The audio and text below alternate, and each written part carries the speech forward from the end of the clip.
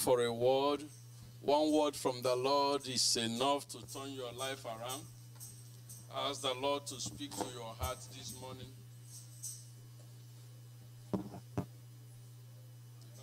He sent His word, His word healed them, His word delivered them from destruction.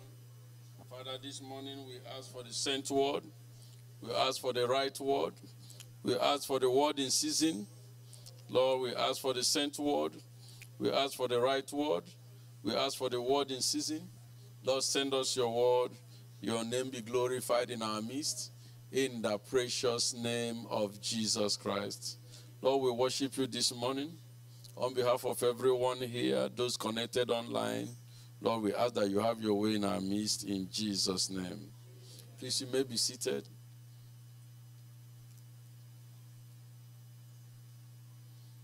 Uh, Saturday, the 2nd of March, there will be a housewarming. Hallelujah. We'll be celebrating with our brother, brother Tony and sister Sandra Douglas for their new home. And the time, the time is 11:30 a.m. to 4 p.m. and the address is 5645 Vintage Cycle, Stockton, uh, California, 95219. Praise the Lord. This morning we'll be looking at part two of what I've been teaching from Wednesday. Understanding the responsibility of building your faith. We said that building your faith is a personal responsibility, it's a personal requirement. You build your faith by yourself because it is to you according to your faith. You cannot rely on somebody else's faith, so that's why you need to know what and what you need to put together for your faith to grow. Faith can grow. Where you are today is where your faith start, stopped growing. Is where your faith got to. It doesn't matter the challenges of life that are facing you, your faith can grow and surmount the challenges.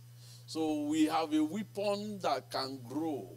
And when your faith grows, it can grow above your challenges. That means your challenge will automatically disappear, become non-existent thing. Uh, there are certain things that will be making you, maybe you'll be afraid of. But if your faith grows automatically, you see that you become, in, you get in command. You now begin to dictate. Such things don't make you afraid again. Something has changed about you. Your faith has grown. So that is why the importance that we grow our faith as individuals. No, there are many, the, the Bible says the world is full of habitation of cruelty. There are many things, challenges of life, you know, and you are not immune to them. They come. But if your faith is standing, you see, Jesus Christ, when he prayed for Peter in Matthew chapter 18, he said, No. He said, Satan desire to sift you. Is the desire of devil to sift any one of us. But he said, I have prayed that your faith fails not. He didn't say, I have prayed that you, you that the devil doesn't tempt you. No. He said, I have prayed that your faith fails not. Because that temptation will come. But the issue is that will your faith stand? Because faith failure is heart failure. When your faith fails, everything about you spiritual fails. Because the Bible says, without faith, it is impossible to please God. So if your faith is not standing, God will not be in your equation. Because any transaction you must contact with God must be on the basis of faith. So that is why faith is a very important weapon. It's a lifestyle of a believer because the Bible said that just shall live by their faith. Hebrews chapter 10, verse 38. That just has no other life but to live the life of faith. So your faith must stand as a Christian. So no matter what you do, your faith must stand. Because when your faith stand, there is nothing the situation can do to you. There is nothing the challenge can do to you because your faith will always overcome. That is faith.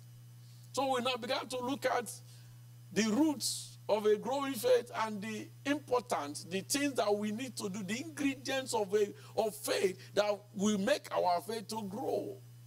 We looked at a number of them, and this morning will be continuing part two. Understanding your responsibility.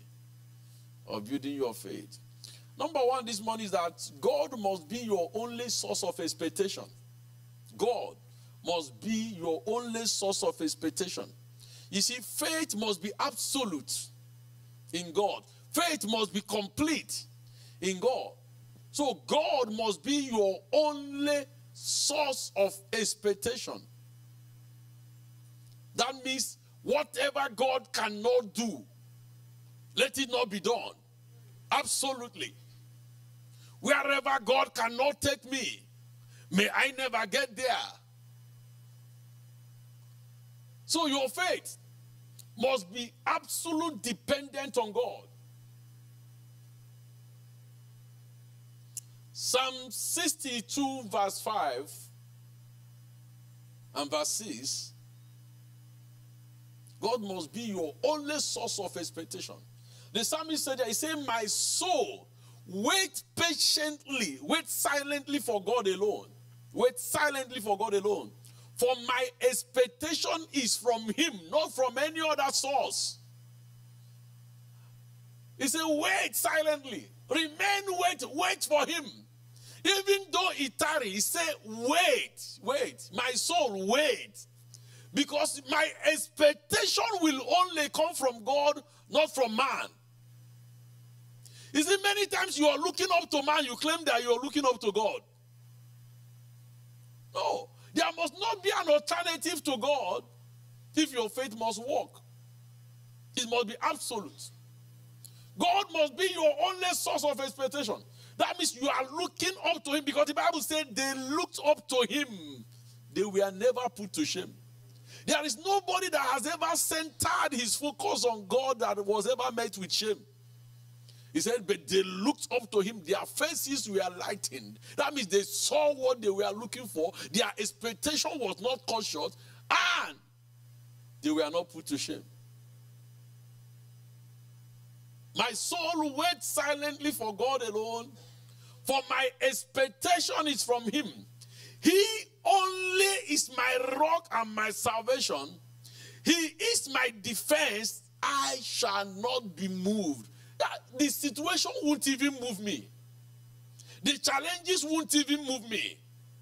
It doesn't matter the circumstance around. He said, I shall not be moved. He said, Him only is my rock and my salvation. Is God your only source of hope? Is God your only source of expectation? Now, I want you to look at that challenge in your life. Ask yourself, is God, am I focused on God as the only rock and my salvation? Is there a way out you are looking out for? Are you saying, Oh, I've waited for God, uh, let me try something else? Ask yourself, just look at that challenge of life now that is confronting you, where you are seated now. Ask yourself, do I have alternative to God? Is there any other thing? I'm hoping. I remember one time my wife had a friend back then in Nigeria, you know, this uh, polygamous family and polygamous battles.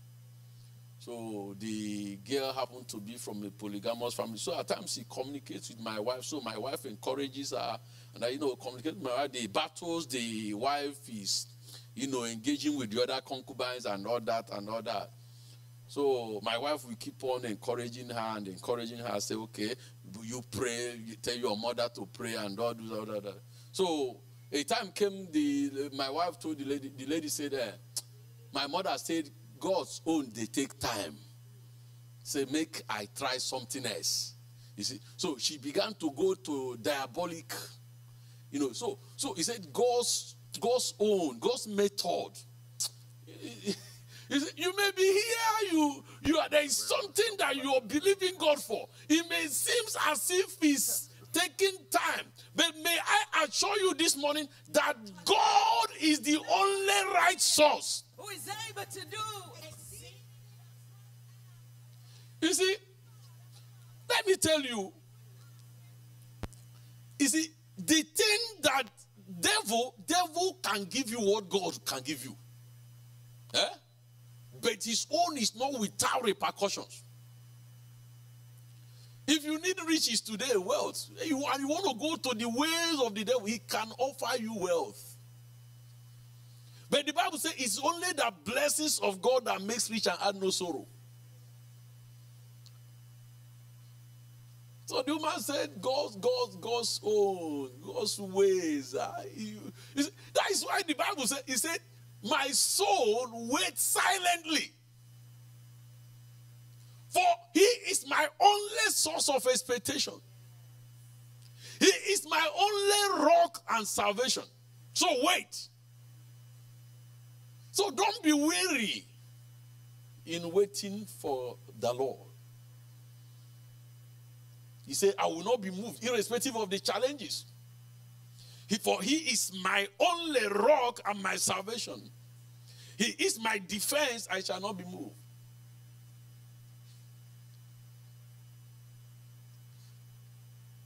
See, you cannot make uh, one of your eyes to be looking up while the other one is looking down. It's not possible. One eye looking up, then the other one looking down. No. So when you are looking up to man, don't claim that you're looking up to God. When you are looking up to man, don't claim that you're looking up to God.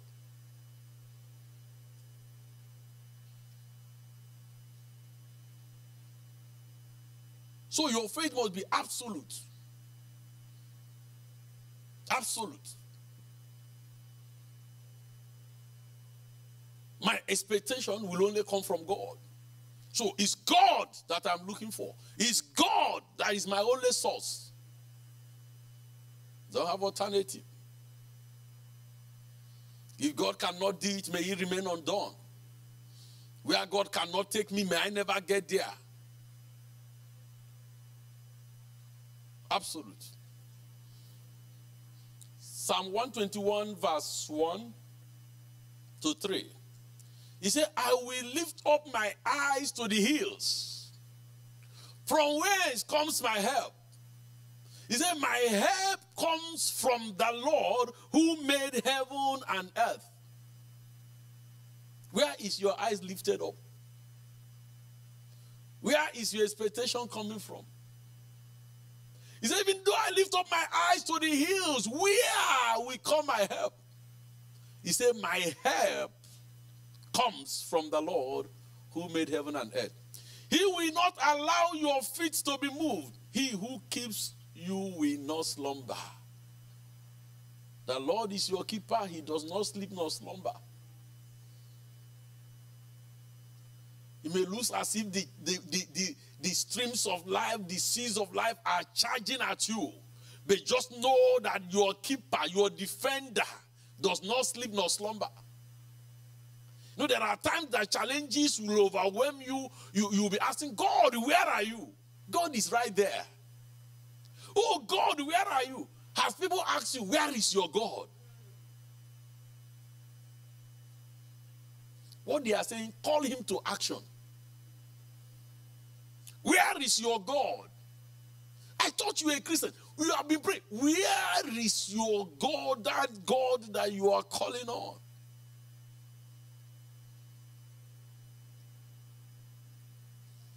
I will lift up my eyes to the hills. From whence comes my help? He said, I will not take help from any other source. Though there may be other sources of help, I will not take help from any other source except from the Lord that made heaven and earth. Because that is the only sure help.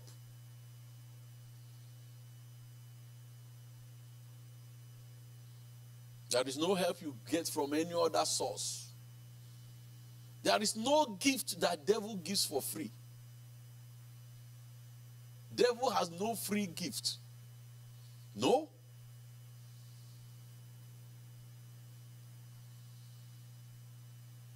One adage in my place, they say the, the, the business of devil is trade by barter.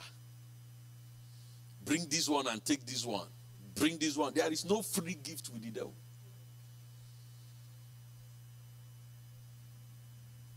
As the devil give me money now. He might say, okay, bring your womb, bring your manhood. He might say, Bring your mother, bring your father. It's just exchange. But the blessing of the Lord makes rich and add no sorrow. You are looking for a child now. Devil can give you a child and see take something else from you. Say, my help comes from the Lord who made heaven and earth. In James chapter 1 from verse 5, he said, If any of you lacks wisdom, let him ask of God who gives to all liberally without reproach, and he will give him. He said, But let him ask in faith, ask in faith, with no doubting. Ask in faith, with no doubting. For he who doubts is like a wave of the sea, driven and tossed by the wind. The person that doubts, he said, if you need anything, God is able to supply, but ask in faith.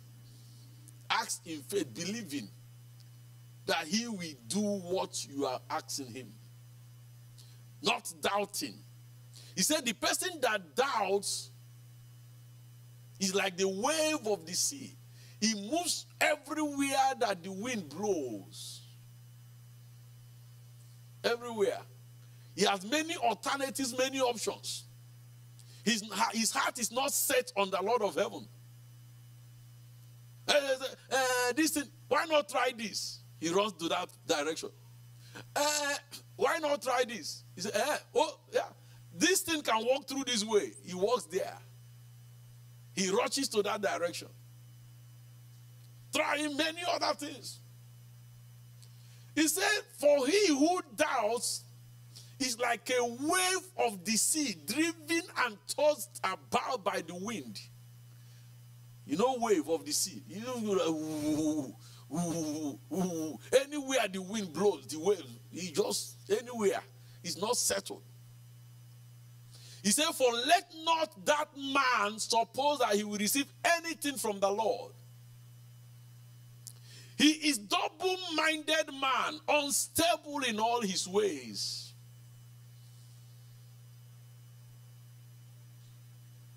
You can't put hope in God and in something else together.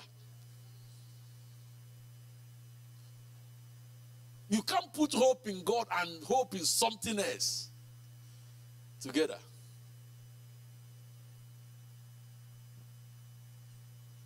Let not that man suppose that he will receive anything from the Lord because he's double minded. He's double minded. Eh? Eh? No. Will he, will he walk? He will not walk. Eh? Will God do it? God will not do it. Now, give me Romans chapter 4, verse 19. You see, when we talk about Abraham, the Bible tells us that Abraham was not weak in faith.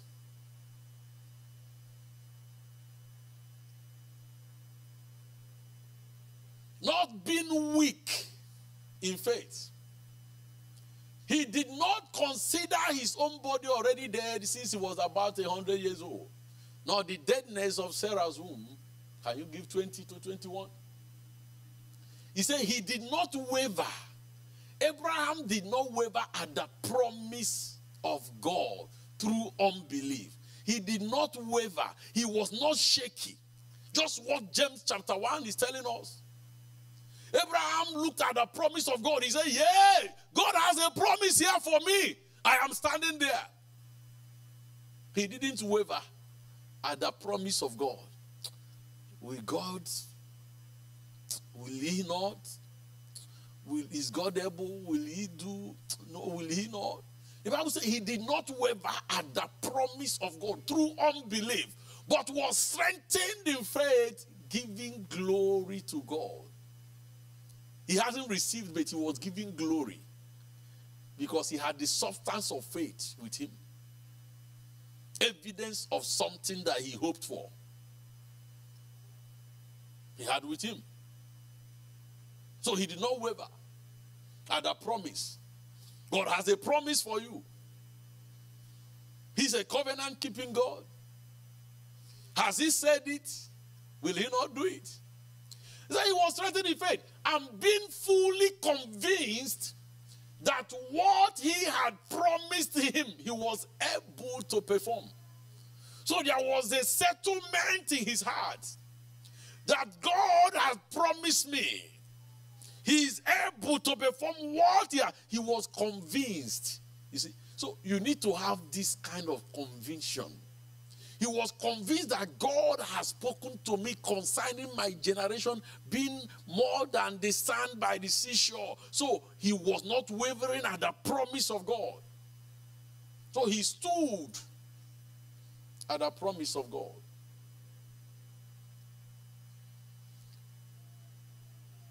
For Hebrews chapter 11, verse 6, he said, For God is a rewarder of them that diligently seek him. Diligently.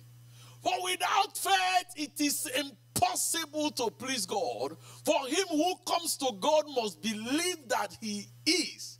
You must believe that he is, and that he is a rewarder of them. Not, not them that seek him anyhow. Diligence. Diligently. They that seek him diligently. So there must be diligence in your seeking of God. There must be a resolution in your heart when you are seeking the Lord. He said, Let not that man think that he will receive anything from the Lord because he's double minded, unstable in all his ways. Because God is a rewarder of them that diligent. That's why the Bible tells us that Abraham did not waver at the promise of God through unbelief. He was strengthened in faith. He was not shaky, shaky. That's what James is telling us that that man who doubts is like the wave, the wave of the sea that, that you know is being tossed about by every wind that blows.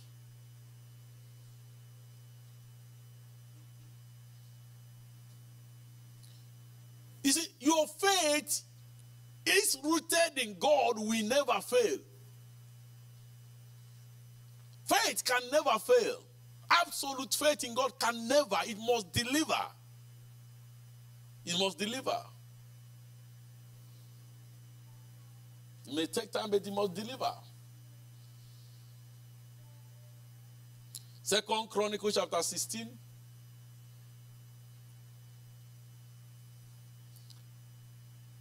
From verse 7. And at that time, Hanani the seer came to Asa, the king of Judah, and said to him, Because you have relied on the king of Syria and have not relied on the Lord your God, therefore the army of the king of Syria has escaped from your hands.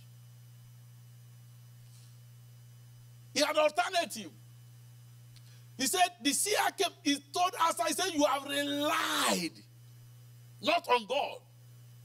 So your reliance, your faith is not on God. You have relied on the king. Oh Lord. Of Syria and not on God. I don't know where your reliance is. I don't know where your hope is. The expectation, the thing that you are believing God for, or the thing that you are you want done in your life. Where are you relying? Where are you relying? And then he began to make reference He said, We are the Ethiopian and the Lubim, not a huge army with very many chariots and horsemen. Yet, because you relied on the Lord, he delivered them into your hands. For the eyes of the Lord run to and fro throughout the whole earth to show himself strong on behalf of those whose hearts are loyal to him. He said, when the time you relied on the Lord, you defeated a mighty army. Now, what is it now that you cannot rely on the Lord? That you are not relying on the king of Syria.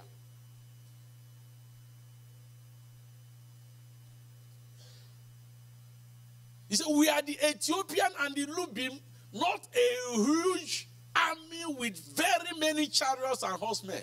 But because you relied on God, God delivered them to you. Now, you see, that is why it's very good to be a good student of history. You need to document certain things in your life, certain hands of God, encounters that you have had with the Lord. Very good. You must have a book where you enter things that God has done, the, the visible hands of God that you witness. Because in the day you are challenged, you're going to make reference to them. That is how you know the mightiness of God. But if you don't know, you forget so soon. Any a little challenge, you might just veer off. But when you have this, you say, ah, God that healed me of cancer can heal me of headache now. Uh-uh. You see, you have evidence, you have encounter. Now, the, the, the prophet began to refer to it. He said, Look at it. When you relied on God, you defeated the whole army of Ethiopia and Lubim. But now, you are not relying on an ordinary man. He said, They have escaped in your hand. And then he, he now made a warm pronouncement to him.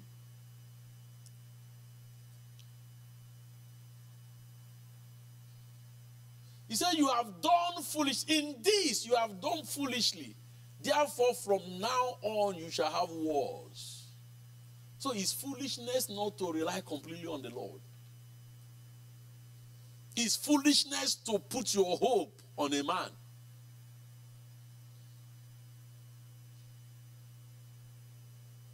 But he said, But the Lord, the eyes of the Lord run to and fro throughout the whole earth to show himself strong on behalf of those whose heart is loyal. You know what loyalty means? It's not conditional. When you're loyal to somebody, that means no matter what comes, you are there. You are loyal to that person. Your heart is. He said, God's eye is running trying to locate those whose hearts are loyal to him. Not everybody. Whose hearts are loyal to him. To show himself strong on their behalf.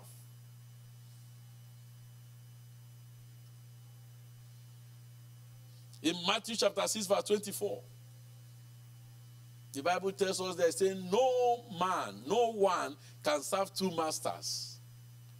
No one can serve two masters. For either he will hate one and love the other, or else he will be loyal to one and despise the other. You cannot serve God and mammon. So when your hope, your expectation is in something else, never claim that you are looking up to God.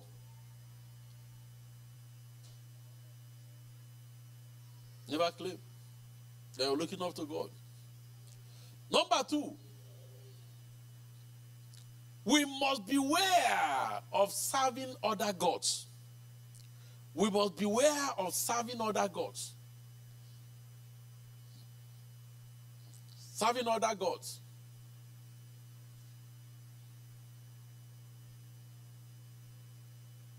Must beware of serving other gods.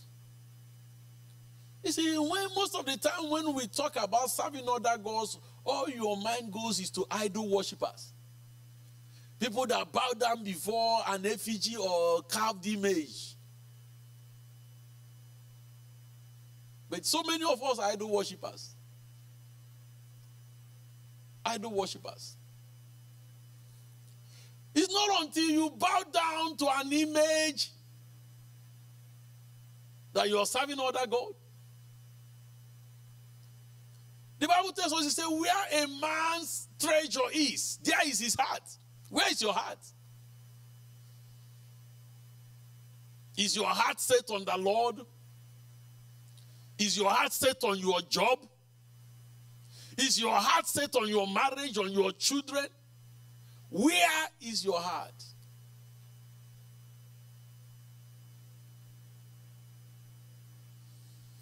In Exodus chapter 20, from verse 4, he said, You shall not make for yourself a carved image, any likeness of anything that is in heaven above, or that is in the earth beneath, or that is in the waters underneath the earth. You shall not bow down to them or serve them. For I, the Lord your God, am a jealous God visiting the iniquities of the fathers upon the children to the third and the fourth generation of those who hate me. God said, I'm a jealous God. You can't serve me and serve any other thing. If you are for me, be for me. If you are not for me, you are against me.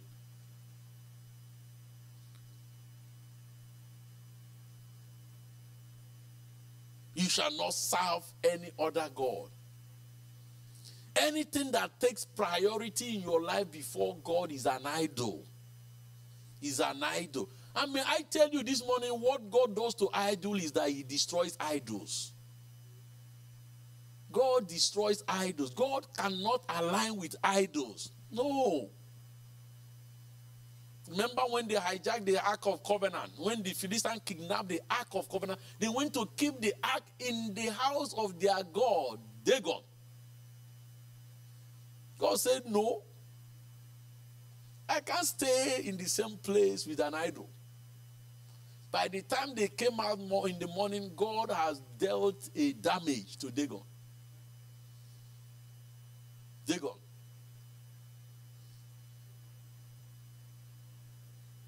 Anything that becomes an idol, God will fight. Are you hearing me?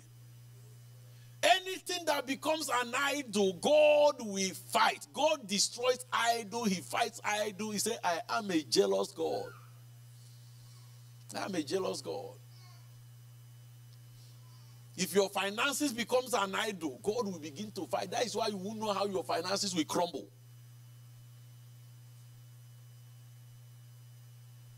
Anything that you lift above God, God will try to pull it down.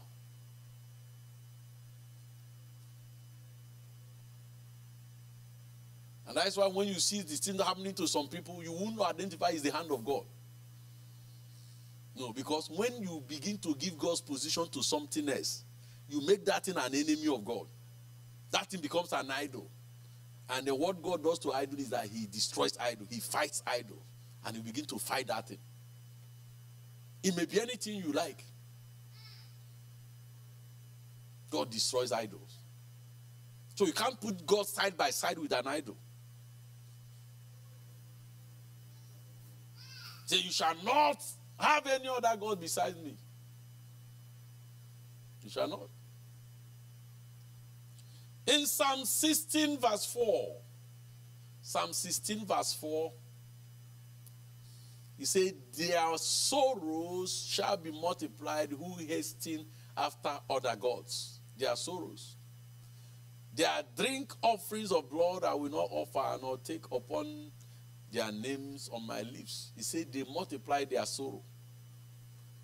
When you have an idol, what you are doing is you're multiplying your sorrow. Your sorrow increases. When you put your hope in anything that is not God, you're only trying to cause a heart attack for yourself your sorrow, your sorrow will multiply.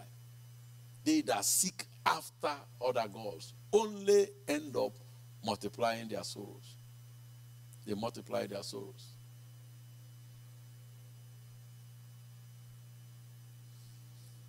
When you go to seek from the devil what God can give you, you only end up multiplying your sorrow. You end up multiplying your sorrow. It's only God's gift that has no sorrow addition. Anything that the devil gives you, he adds sorrow to it. Are you getting what I'm saying? It's only the blessings of God that will make you rich without sorrow. Anything you go to get from the devil, he, the, the addition is sorrow. That is the bonus.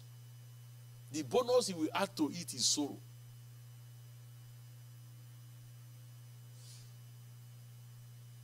So they that hasten after other gods multiply theirs. May nothing push you away from the God of heavens.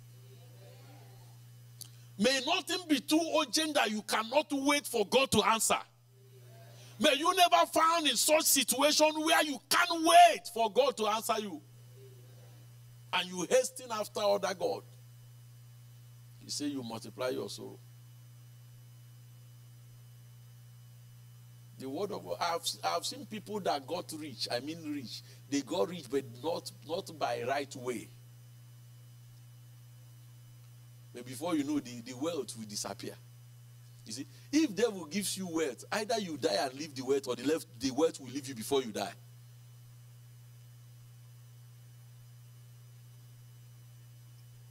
If devil gives you money, either you die, leave the money for people you don't know, or the money will leave you before you die. Number three, we must be aware of an evil conscience. Evil conscience. Evil conscience. You cannot build your faith on evil conscience, bad conscience. Acts chapter 24, verse 16. This being so, he said, I myself always strive to have a conscience without offense towards God and men. Towards God and men. Not just only towards God, towards God and men.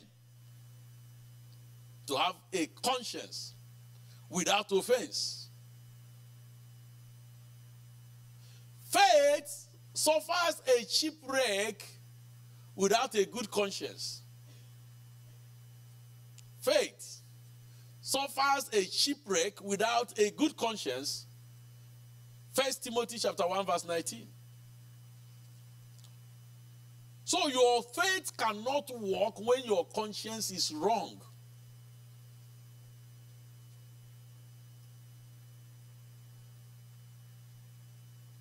Now, faith and a good conscience, which some, having rejected, concerning the faith, have suffered shipwreck. Because some people they tell you it doesn't matter. They have a dead conscience. They are sitting on people, but they are believing God for their own lifting. They are dealing evil with people, but they are believing God for expansion. Dead conscience. He says some have rejected putting their faith with good conscience, and they have suffered a shipwreck of their faith.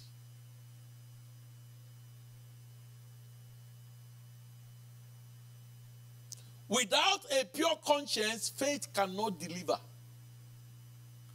Without a pure conscience, faith cannot deliver. First Timothy chapter 3, verse 9. Without a pure conscience, your faith will fail. Holding the mystery of faith with a pure conscience. Holding the mystery of faith with a pure conscience. Faith is a mystery. You are holding it with a pure conscience. So you must make sure that your conscience is pure, your conscience is good, not just towards God, but towards your fellow man. Look at your relationship with your husband. Look at your relationship with your colleagues. You must make sure for your faith to work that your conscience is clean and pure. Not carrying evil conscience and praying and believing God. He said you, your faith will suffer a shipwreck. Because you must hold the mystery of faith with a pure conscience. He says some have rejected. They, you tell them they say it doesn't matter. Eh? Uh, God will do. But your, your conscience is dead, wicked, very bad conscience. He said they rejected good conscience with faith and they suffered a shipwreck. They suffered a shipwreck of their faith.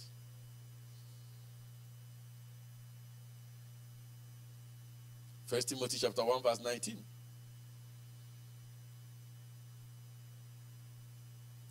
Now, unforgiveness can make your faith of no consequence. Unforgiveness. Carrying somebody in your mind. No, I will never forgive them. I will never forgive them. What they did to me, the evil they caused me, the harm they caused me, I will never let go. Even if I leave every other thing, I will never leave them. You are carrying them. Somebody said unforgiveness is like eating poison and expecting another person to die. You're the one eating the poison, and you're expecting somebody else to die. It damages you and not the person you're holding in your heart. Unforgiveness. It can hinder your faith. I remember a testimony of one powerful woman of God was dying, dying of cancer. All kinds of prayer, people have prayed and they prayed and every until one man of God came and God ministered to him. He said, Why all this prayer we are praying for this woman, your daughter is not being healed? He said, Ask her unforgiveness. And the man said, Excuse me, ma. Is there anybody you are carrying in your heart? He said, No. He said, Search well. Is there anybody you are carrying in your heart?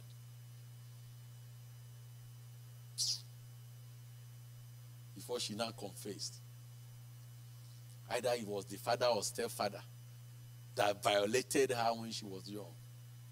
And she has been holding this man in the heart. Unforgiveness. And then she was able to let go. And cancer died. I've heard some people say, I don't know whether it's scientifically proven, that bitterness of the heart is what causes cancer. If you are bitter, you have offenses in your heart. That is one of these one of the things that strengthens cancer cells in somebody. You know the abnormal cells. That what feeds them. Offense. So be careful when you are carrying people in your heart. You are the one carrying the load. The pain of the load is on you, not on them. And it's very dangerous because you might be carrying somebody in the heart. That person doesn't even know. The person is rejoicing, greeting you. Hey, say, hey, sister, hi. And your heart is born. Mm. Mm. And the person says, you say, hi, brother, hi. How are you doing today? And your heart. Even to answer greeting, you will not. You are carrying heavy load. The person is not feeling it. It's like you are eating poison, you are expecting another person to die. Unforgiveness. Unforgiveness. First Peter chapter 3, verse 7.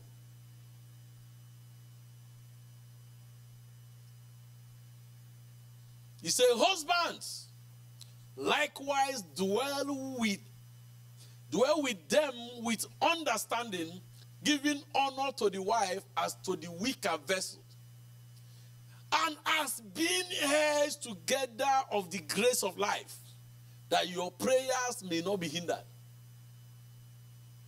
So your prayer can be hindered by your relationship with your husband.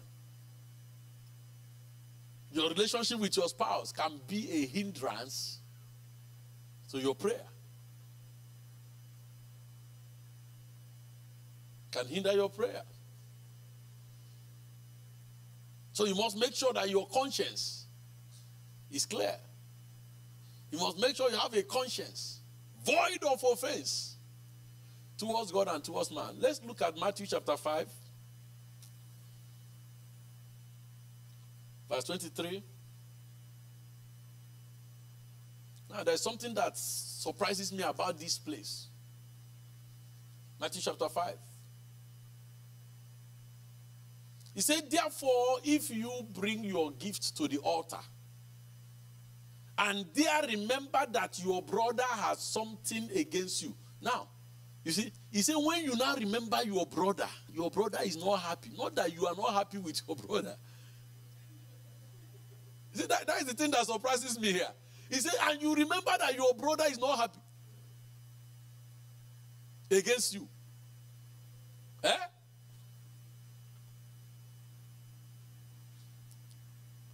Therefore, if you bring your gift to the altar and there remember that your brother has something against you, he said, Leave your gift there before the altar and go your way.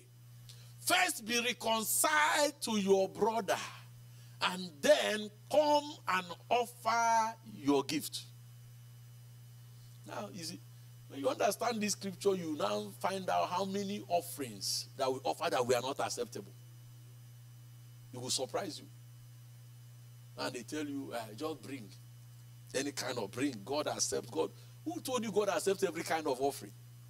Now, it's the same God that is telling you now, if you bring offering, no matter how many billion dollars you are bringing, and you discover that somebody is not happy. Now, now go and, it's not that you are not happy with the person. The person is not happy. You go and say, brother, brother, is there anything that we have to settle? Sister, uh, my wife, please, is there any quarrel? We, how, why, why was your face squeezing? Is there anything I did you didn't like? Are you getting what the Bible is saying? Not that you are not happy or you have something against the person or they did you something. No. They have something against you. You might not know what they have against you. He said, drop, go and find out first and be reconciled. Let that person be smiling for you. Let that person be happy for you before you come and offer your offering. But these days, what do we preach? Anywhere you gather, even if you kill somebody, bring the tithe, bring the offering. If you're 419, bring the tithe, bring the offering. Now, we forgot about the ordinances of God, what makes the offering acceptable to God. That the God that we are giving is not a beggar. He's not a beggar. I said, ah, ah. So God said, offering. Ah, ah. Pastor said, bring, bring, bring, bring, bring offering. Whether it's ripe or it's not ripe, bring. Ah, church needs money. But God is telling you, if you bring, please hold on. If you want me to accept, go and amend, have amendment. Go and reconcile first. Then you come and bring your offering. So God is not in a hurry to accept. But pastor is in a hurry. Yes, pastor is in a hurry. Bring the, bring it. Put it in offering basket, then go and be settling. Because by the time you go and come back, you may change your mind. so bring, bring. You see the Bible? So now you can see the voluminous of the offerings that we give that God doesn't accept. And at times we'll be asking, ah, why are, is our blessings not returning back to us?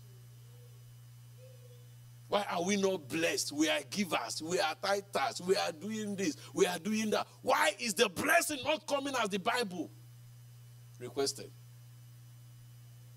As the God has promised us in His words.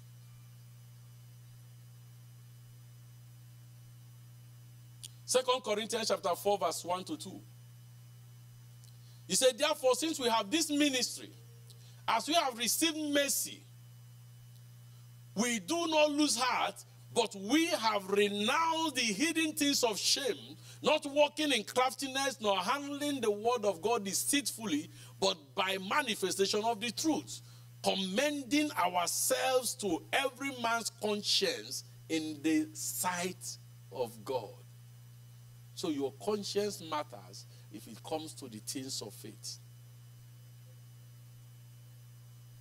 Don't be among those that say it doesn't matter.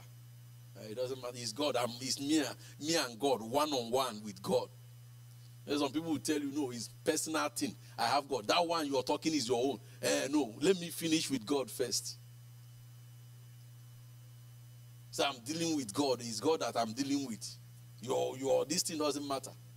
however you feel or whatever you do, it doesn't, it doesn't matter to me. Uh, it's God.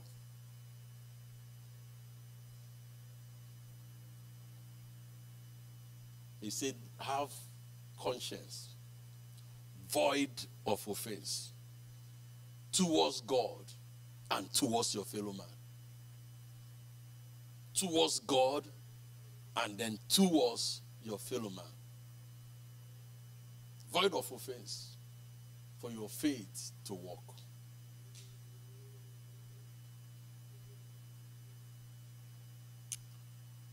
Number four, one must keep the joy of the Lord alive in him or her.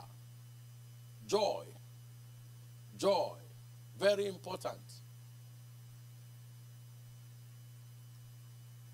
One must keep joy alive.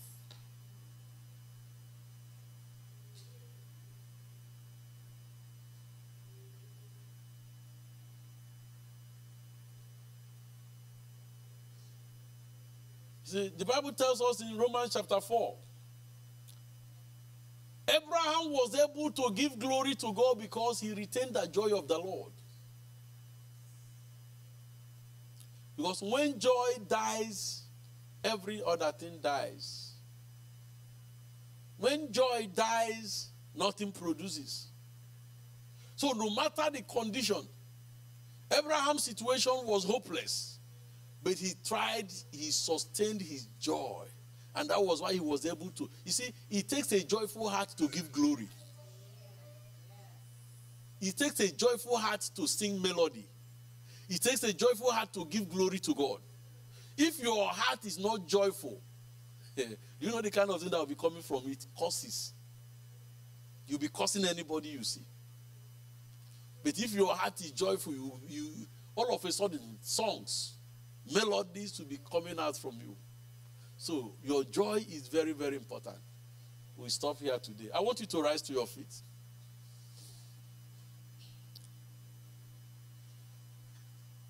So if our faith must work, we need all these ingredients.